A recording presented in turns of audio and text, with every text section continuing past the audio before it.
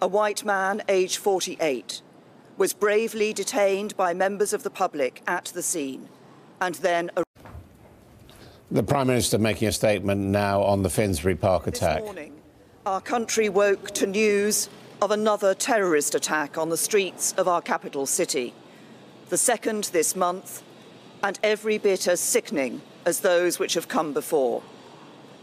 It was an attack that, once again, targeted the ordinary and the innocent going about their daily lives. This time, British Muslims, as they left a mosque having broken their fast and prayed together at this sacred time of year. Today we come together as we have done before to condemn this act and to state once again that hatred and evil of this kind will never succeed. The Government's Emergency Committee Cobra has just met, and I can set out what we know about what happened and the steps that we are taking to respond.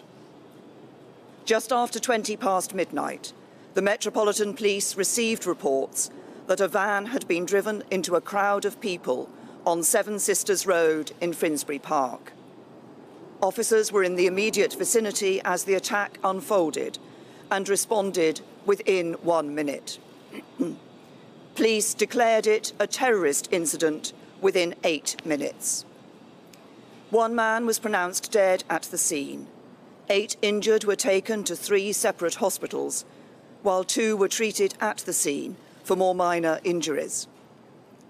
The driver of the van, a white man aged 48, was bravely detained by members of the public at the scene and then arrested by police.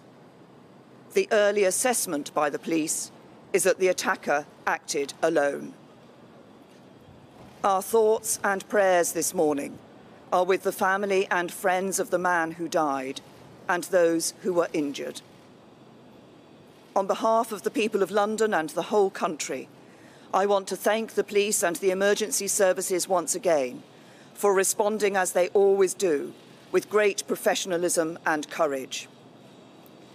Extra police resources have already been deployed to reassure communities, and the police will continue to assess the security needs of mosques and provide any additional resources needed, especially during this final week before Eid al-Fitr, a particularly important time for the whole Muslim community. This was an attack on Muslims near their place of worship. And like all terrorism, in whatever form, it shares the same fundamental goal. It seeks to drive us apart and to break the precious bonds of solidarity and citizenship that we share in this country. We will not let this happen. When I stood here for the first time as Prime Minister last summer, I spoke about our precious belief in the Union, not just the bond between the four nations of the United Kingdom, but the bond between all our citizens, every one of us, whoever we are and wherever we are from. At the heart of that bond is a belief in the fundamental freedoms and liberties that we all cherish the freedom of speech, the freedom to live how we choose, and yes, the freedom to practice religion in peace.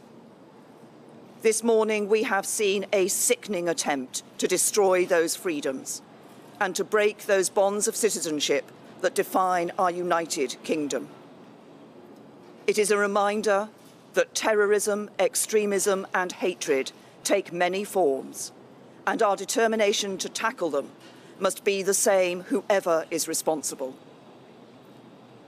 As I said here two weeks ago, there has been far too much tolerance of extremism in our country over many years, and that means extremism of any kind, including Islamophobia. That is why this government will act to stamp out extremist and hateful ideology, both across society and on the internet, so it is denied a safe space to grow. It is why we will be reviewing our counter-terrorism strategy and ensuring that police and security services have the powers they need. And it is why we will establish a new Commission for Countering Extremism as a statutory body to help fight hatred and extremism in the same way as we have fought racism.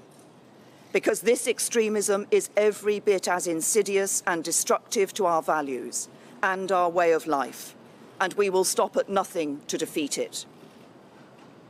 Today's attack falls at a difficult time in the life of this city, following on from the attack on London Bridge two weeks ago, and of course the unimaginable tragedy of Grenfell Tower last week, on which I will chair another meeting of ministers and officials later today.